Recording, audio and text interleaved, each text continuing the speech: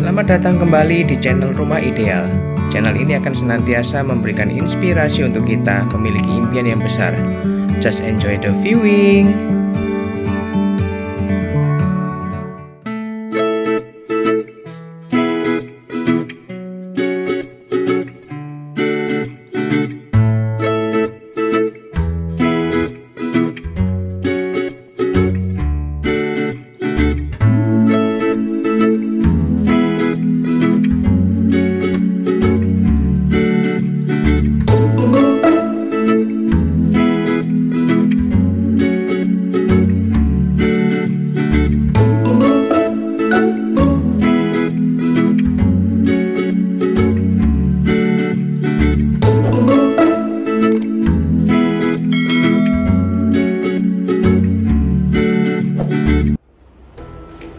Sobat Ideal, kembali lagi bersama saya Isa. Apa kabarnya kalian hari ini?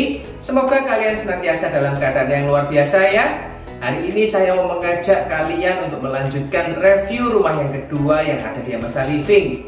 Kita akan review sedikit mengenai Amesta Living. Jadi yang pertama, Amesta Living ini dikembangkan oleh dua developer besar yaitu Intiland dan juga Profes dengan total luas lahan 60 hektar di 0 Jalan OR. Keren banget kan Sobat Ideal? Dan yang menarik adalah desain dari rumah ini mengusung konsep Asia dan juga Eropa dengan konsep Japandi, Japanese Scandinavian membuat rumah yang ukurannya tidak besar pun terlihat nyaman dan juga mewah. Nanti kita akan buktikan untuk rumah yang kedua yang lebar 5. Jika kalian belum menonton yang pertama kemarin yang lebar 4 bisa klik di link ada di atas ini ya.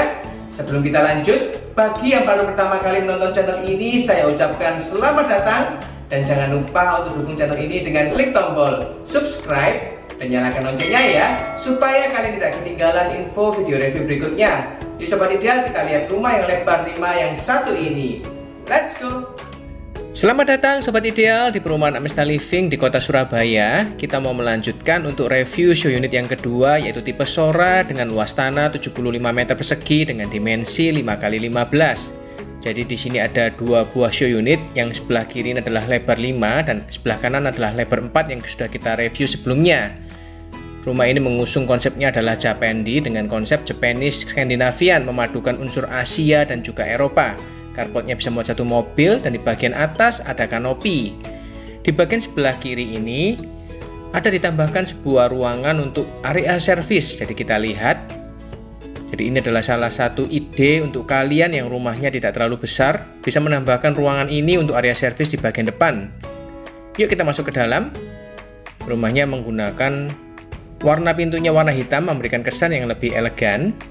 Di bagian dalam, rumah ini langsung dibuat los tanpa sekat seperti ini, jadi kalian bisa lihat meskipun dengan lebar 5, rumah ini tetap terasa lega kan? Interiornya juga mengusung konsepnya dengan motif kayu seperti ini menghasilkan kesan yang hangat dengan menggunakan permainan lampunya. Jadi di sebelah kanan ini interiornya fungsional banget. Kalian bisa lihat di ujung sebelah kiri itu juga ada tempat untuk menyimpan AC. Keren banget ya idenya. Cakep banget ini interiornya, simple tapi terlihat mewah dengan permainan lampunya seperti itu. Kita lihat di bagian sebelah kiri.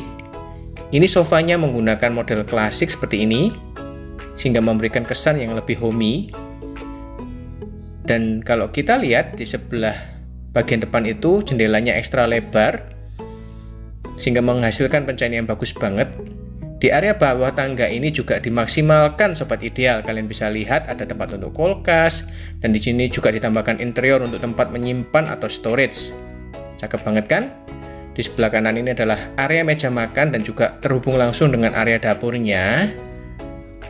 Jadi unsur warnanya putih ini menghasilkan kesan yang lebih elegan. Di area dapurnya ini juga ditambahkan tempat untuk mesin cuci.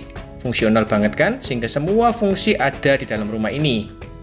Sekarang kita coba lihat ke sebelah kanan karena di sini cukup menarik sobat ideal. Kenapa menarik? Karena di sini di sebelah kanan ini ada sebuah pintu. Kalian bisa lihat ini ada sebuah pintu, tapi pertanyaannya kenapa kok duduk menggunakan meja makan? Jawabannya karena rumah ini juga memperhatikan feng shui-nya dengan bagus. Karena secara feng shui tidak boleh pintu depan sejajar dengan pintu yang di belakang.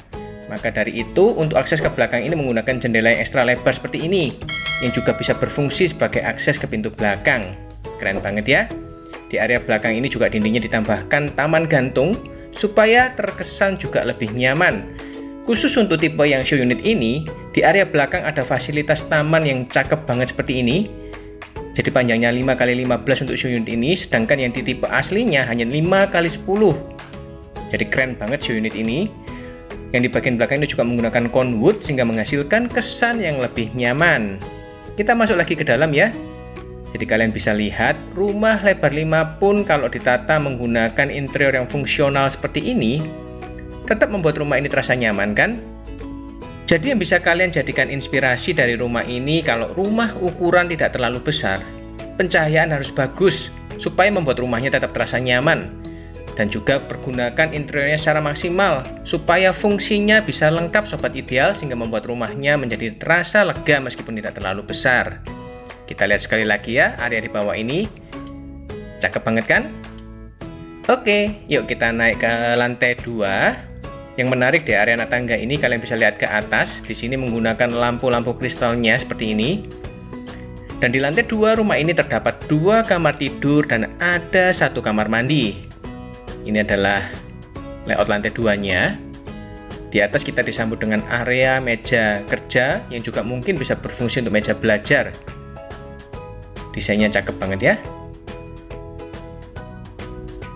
Kita belok dulu ke sebelah kiri. Ini adalah kamar tidur anak. Untuk unit ini lantainya menggunakan parkit, tapi untuk sebenarnya menggunakan granit tile ya. Jadi interiornya juga minimalis banget tapi fungsional. Salah satunya di bagian ujung ini ada laci seperti ini untuk menyimpan buku, sobat ideal. Fungsional banget kan? Di sini juga ditambahkan jendela yang ekstra lebar supaya ruangan yang tidak besar pun tetap terasa nyaman kita bisa melihat ke arah pemandangan taman yang di belakang. Cakep banget gak tuh sobat ideal? Kita lihat sekali lagi di area interiornya, fungsional banget. Di sini juga menggunakan kaca seperti ini, tujuannya supaya ruangan di dalam ini menjadi terasa lebih lapang. Oke, kita coba lihat di area meja kerja ini. Lampunya ini menurut saya kreatif banget, jadi ditempelkan di sini karena ukurannya tidak besar, maka semua fungsi bisa harus lengkap sobat ideal. Keren banget ya. Bisa kalian jadikan juga inspirasi. Di bagian sebelah kiri ini ada wastafel. Kamar mandi yang di lantai 2 ini memiliki dua pintu akses yang juga bisa diakses melalui kamar tidur utama. Jadi ada dua pintu sobat ideal. Keren banget ya. Di samping area wastafel juga ada jendela lebar sehingga pencahayaan bagus banget untuk lantai 2 ini. Kamar tidur utamanya juga didesain menarik banget kan? Memadukan warna putih seperti ini dengan pintu kacanya di bagian lemari dipadukan dengan unsur kayu yang terkesan hangat ditambahkan permainan lampunya menghasilkan kamar tidur ini tetap terlihat mewah meskipun dalam balutan minimalis seperti ini. Di sini lampu bacanya juga kreatif banget kan sobat ideal? Pokoknya kalau kita bisa memanfaatkan interior dengan maksimal, Rumah yang kecil pun akan tetap terlihat mewah dan juga terasa nyaman. Kalian bisa lihat, lemari pakaiannya juga modelnya simple seperti ini tetapi fungsional banget ketika kita buka. Di sini ada rak-rak seperti ini dan juga ada laci untuk penyimpanan. Lengkap banget pokoknya, tepat di sebelahnya ini ada meja rias dengan kaca cermin yang lebar. Kamar tidur utamanya juga banyak menggunakan jendela sehingga menghasilkan ruangan di dalam ini tetap terasa nyaman kan? Kalian bisa lihat fungsional banget, di bagian backdrop itu juga ada tempat rak-rak untuk penyimpanan. Maksimalkan setiap sudut ruangan dengan baik Sobat Ideal, supaya rumah yang tidak besar pun tetap terasa nyaman. Gimana kalau menurut Sobat Ideal untuk rumah tipe Sora yang ada di Amesta Living ini? Apakah ini merupakan salah satu rumah impian Sobat Ideal? Rumah ini menarik meskipun dengan ukuran yang terbatas tetapi fungsinya lengkap dan tetap terlihat nyaman. Benarkan Sobat Ideal dan secara keseluruhan rumah ini sangat ideal untuk keluarga. Nice! Bagaimana sobat ideal untuk rumah kedua yang ada di Amesta Living ini? Tidak kalah kerennya dengan yang pertama ya, dengan lebar 5 rumah ini juga tetap terasa lega dan juga terlihat mewah. Jadi salah satu kunci sebuah rumah yang mungil tetap terasa nyaman adalah memanfaatkan setiap sudut ruangan dengan baik dengan memanfaatkan interiornya dengan baik dan multifungsi, membuat rumah yang kecil pun tetap terasa nyaman dan juga terlihat mewah. Setuju ya Sobat Ideal? Yuk, jika ini merupakan rumah impian Sobat Ideal, jangan lupa ya untuk dukung channel ini dengan klik tombol like, share ke teman-teman kalian, serta jangan lupa untuk pencet tombol subscribe dan nyalakan loncengnya ya, supaya kalian tidak ketinggalan info video review berikutnya. Sobat Ideal, jangan pernah berhenti untuk bermimpi. Kenapa? Supaya dengan bermimpi, kita akan memiliki hidup yang jauh lebih berarti Sampai jumpa pada video review berikutnya. Stay positive and stay strong. See you.